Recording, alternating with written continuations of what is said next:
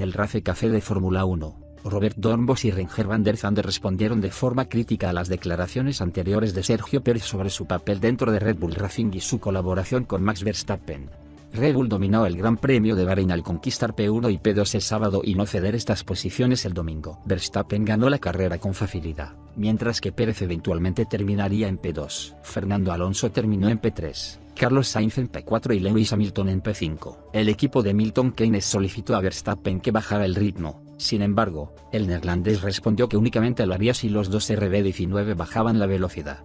El tema volvió a la luz en Race Café y se debe a declaraciones realizadas por el mexicano previo al fin de semana. En medios mexicanos, Checo afirmó que claro que es cierto que si no siento que soy el obtener el apoyo que necesito, entonces no voy a ayudar a los demás. Renger van der Zand afirmó en el podcast de Figo es porque las declaraciones de Pérez no sirven de mucho. No deberías decir cosas así, es torpe, pero ellos, Red Bull, también jugaron torpemente con él. En Red Bull también simplemente dijeron, queremos ayudarte, pero no podemos si Max no lo hace, no lo hagas. Está muy claro que Max es el número uno y Pérez es el segundo volante. Lo siente en todos los lados y no solo en la pista, señalaron. Dornbos contesta y cree que el mexicano simplemente piensa diferente y no está de acuerdo con su propio estatus dentro del equipo, entonces él no siente eso, porque de lo contrario no dirás cosas así realmente cree que puede hacerlo mejor que Max. Ese es el problema. En una situación como esa, no debería pensar que es mejor que Max. Finalizó.